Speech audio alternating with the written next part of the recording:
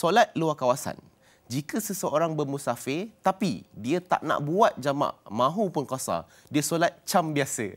Adakah ini dikatakan sombong? Sedangkan ini rukhsah, ini ibarat hadiah dari kekasih kepada kekasih. Apabila seorang itu dia bermusafir tapi dia mengambil dia tak nak dia tak nak untuk uh, mengkasar atau tak nak menjamakkan. Dia nak buat macam orang biasa. Baik, adakah dia itu dianggap sombong? Kerana itulah dalam fiqah hukum asal bagi jamak dan qasar ini adalah hukumnya jaiz. Ya, hukumnya adalah satu yang harus. Bila harus bermaksud dia bebas untuk memilihnya. Dan bebas memilih tersebut maknanya kalau sepanjang jalan itu dia tak nak melakukan jamak dan qasar, itu atas dia. Itu keharusan yang diberikan kepada dia. Saya tak saya tak saya nak saya suka lebih suka begini begini begini. Dan kemudian sekiranya katalah pula bebas termasuk terma, uh, bermaksud katalah uh, pada waktu zuhur asar dia nak jamak. Isyak dan maghrib dia rasa tak perlu jamak.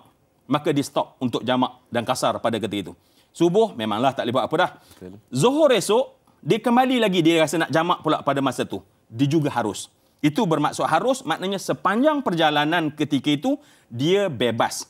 Dan kalau kita mendapati Sayyidina Aisyah radhiyallahu anha apabila beliau bermusafir, dia di antara yang tidak menjamakkan solat. Oh. Dia tidak dan kerana dia nak mengambil cara semayang seperti biasa dan dalam hadis yang yang sampai kepada kita Sayyidina Anas bin Malik berkata kami bermusafir bersama dengan Rasulullah ada di kalangan kami yang mentamamkannya ada di kalangan kami yang mengkasarkannya orang yang tamam tidak mengata pada orang yang kasar, orang kasar tak mengata pula pada orang yang tamam. Hidup dalam keadaan harmoni. Mm-hmm.